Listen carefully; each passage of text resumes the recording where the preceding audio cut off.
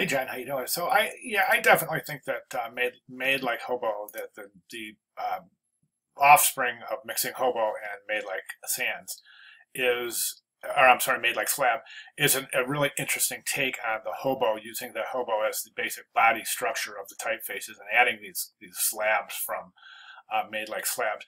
It's it's a really interesting concept and one that I think would have been initially I would have looked at this and said, "Wow, this is going to be tough to pull this off."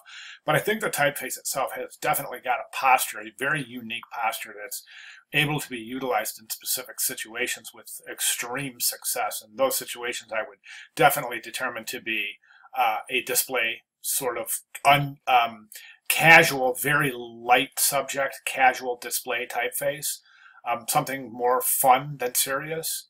And I, and I think you nailed it. I really do. I think we can definitely see that right here, where made where you have you made like hobo, um, and showing the different letter forms and showing how these are able to be uh, distributed in a way that adds like this light kind of comical um, undertone to the actual message itself. So the alphabet looks fantastic. Really good job. Um, I would have liked to have seen the posters have a little bit more of a visual harmony between the two. And uh, right now, I think that your display and your promotional typefaces have a little bit of a visual disconnect, mostly based on your layout choices and your color.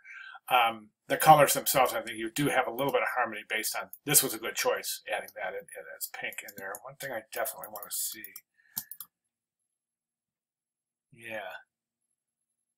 Yeah, so good job using the pink in there. Would have liked to have seen a little bit more color added to this just to, to give it a little more of a visual harmony with the, the uh, display poster.